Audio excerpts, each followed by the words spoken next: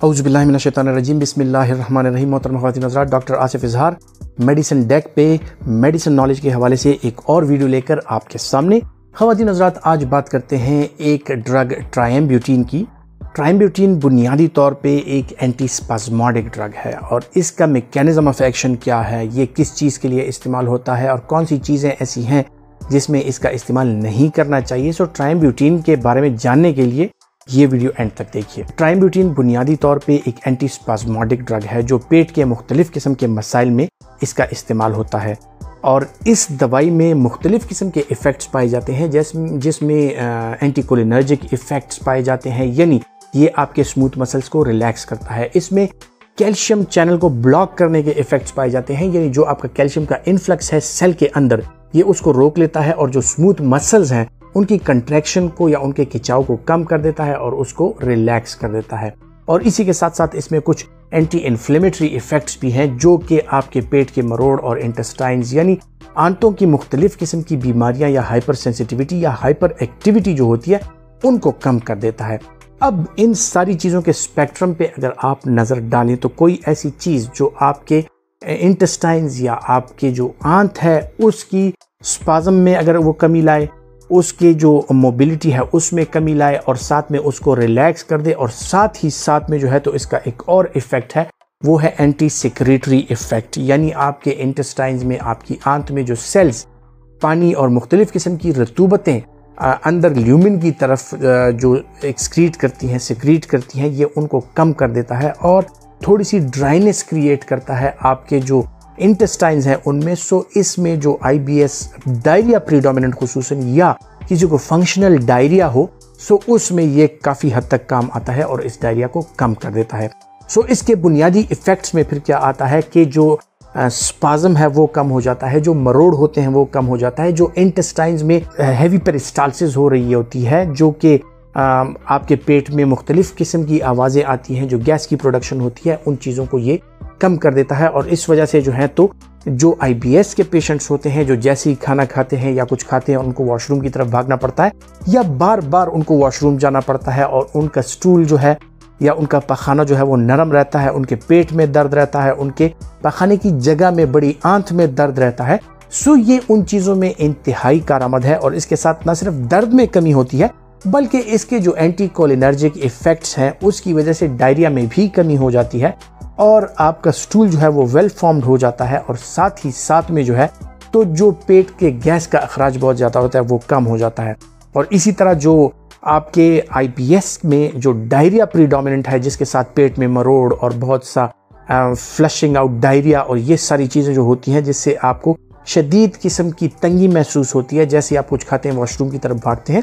उन लोगों के लिए ये बेहतरीन ड्रग है और ट्रायम्ब्यूटिन के साथ ये सारी चीज़ें तकरीबन सेटल हो जाती हैं, आपका डायरिया सेटल हो जाता है, आपका स्टूल वेल फॉर्म्ड हो जाता है, इसके साथ जो पेन या दर्द की कैफियत होती है, जो मरोड़ की या कॉलिक की कैफियत होती है आपकी आंतों में, वो कम हो जाती है और साथ ही साथ में जो है तो इसके सिम्टम्स वो जो आई बी एस के या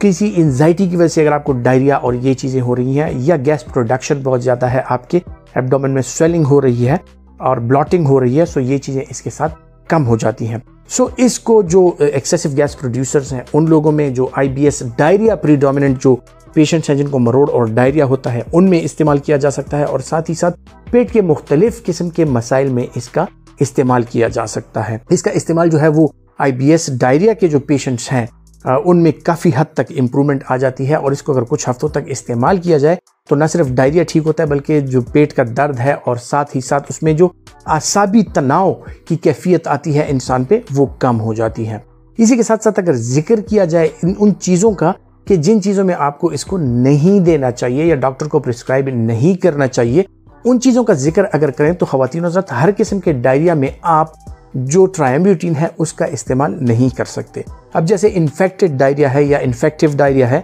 जो इन्फेक्शन की वजह से होता है, उसमें अगर आप इसका इस्तेमाल करेंगे सो उसकी वजह से जो है तो आपको पेट के मुख्तलिफ़ किस्म के मसाइल का सामना करना पड़ सकता है। और इसके जो एंटीकोलिनर्जिक इफेक्ट्स हैं, उनकी वजह से पैरालिटिक एलियस यानी आपका जो छोटी आंत की मोशन है, वो बंद हो सकती है। और इस वजह से जो है तो आप शदीद किस्म के कब्ज़ का, कि ना हवा का अखराज हो, फिर ना पखाने का अखराज हो और पेट जो है वो सूज जाए, फूल जाए सो इसका आप शिकार हो सकते हैं। इसी तरह जो आई बी डी यानी inflammatory bowel diseases ulcerative colitis या क्रोन्स डिज़ीज़ के जो पेशेंट्स हैं, उनमें इसका इस्तेमाल हर गिज नहीं कराना चाहिए, वो कॉन्ट्रा इंडिकेटेड है। उनमें अगर पेन भी होता है तो आपको उनको प्रोबायोटिक्स और हाइड्रेशन के साथ करेक्ट करना पड़ता है, ना कि ट्राइम्ब्यूटीन वगैरह या एंटीकोलिनर्जिक्स या और एंटीस्पाजमोडिक्स देके अगर आप उनकी करेक्शन करेंगे तो इन लोगों में टॉक्सिक मेगा कोलन यानी इनका कोलन जो है, बड़ी आँच जो है, वो इंतहाई हद तक वो फूल जाती है और उसमें इतनी गैस और इतने एयर और इतना बैक्टीरिया जमा हो जाता है कि उससे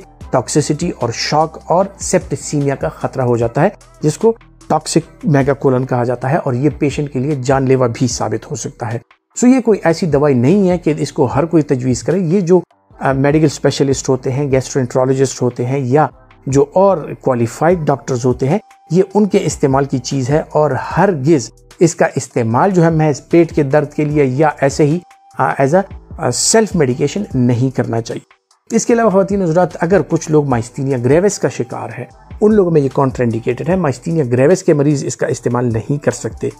और कौन सी ऐसी दवाइयाँ हैं जिनके साथ अगर आप इसका इस्तेमाल करेंगे तो वो आपके लिए इंतहाई हद तक नुकसानदेह साबित हो सकता है। सो जो और एंटीकोलिनर्जिक दवाइयाँ हैं, जिनके एंटीकोलिनर्जिक इफेक्ट्स होते हैं, जिस तरह के ट्राईसाइक्लिक एंटी डिप्रेसेंट्स हो गई या मुख्तलिफ़ किस्म की और दवाइयाँ हो गई, कि जिनके बाद में इफेक्ट्स एंटीकोलिनर्जिक इफेक्ट्स होते हैं, यानी उनके साथ आपका मुँह सूख जाता है, उसके साथ आपको कब्ज हो सकता है, उसके साथ आपको यूरिनरी रिटेंशन यानी आपका छोटा पेशाब बंद हो सकता है। सो अगर आप इसको उन दवाइयों के साथ लेंगे तो ये उनके साथ इन इंटरेक्शन आके उनकी जो एफिकेसी है, उनको बढ़ा देती है, उनके जो पॉसिबल साइड इफेक्ट्स होते हैं, उनको बढ़ा देते हैं। और आप किसी भी किस्म की पेचीदगी, यानी या तो पेशाब बंद हो सकता है, बड़ा पेशाब बंद हो सकता है, शदीद किस्म का कब्ज हो सकता है, आपका पेट इंतहाई हद तक सूझ सकता है और आप जो है तो उल्टियों का आप शिकार हो सकते हैं। इसी तरह खवतिन अगर किसी में इंटेस्टाइनल ऑब्स्ट्रक्शन हो या इंटरसेप्शन की एक बीमारी है, जिसे कहते हैं कि जिसमें इंटेस्टाइन का एक पोर्शन दूसरे पोर्शन के अंदर चला जाता है और इंटेस्टाइन जो है वो ब्लॉक हो जाता है सो इस बीमारी में भी ये दवाई जो है कॉन्ट्रा इंडिकेटेड है। और इसी के साथ साथ जिस तरह मैंने ज़िक्र किया कि इन्फेक्टिव डायरिया या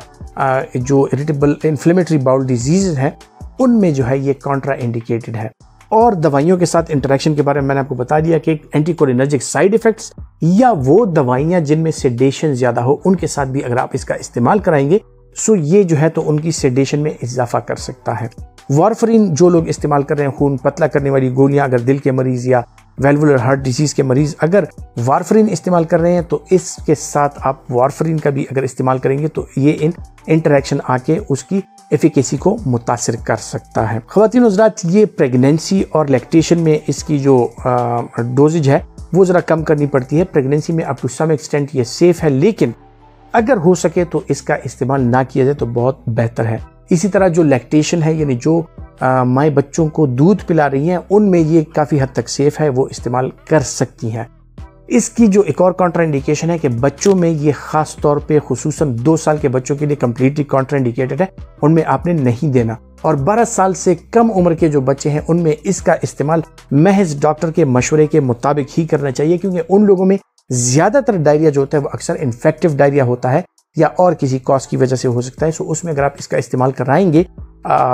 दस्तों के लिए या पेट के दर्द के लिए सो ये खतरनाक साबित हो सकता है। जो बड़ी उम्र के लोग हैं, उनमें अगर डायरिया की कॉज आपको मालूम है, वो इन्फेक्टिव डायरिया नहीं है, जो इन्फ्लेमेटरी बाउल डिज़ीज़ है, उसके साथ नहीं है, कोई और उसका कॉज नहीं है सो उसमें आप इसका इस्तेमाल करा सकते हैं। खातिन हजरात, उम्मीद करता हूँ कि ट्राइम के हवाले से जो मालूम मैंने अब तक पहुँचाई ये आपके लिए फ़ायदेमंद साबित होंगी और अगर आप समझते हैं कि ये आपके लिए फ़ायदेमंद है तो इसे दूसरों तक ज़रूर पहुंचाएँ। अपना बहुत सा ख्याल रखिएगा। अल्लाह हाफ़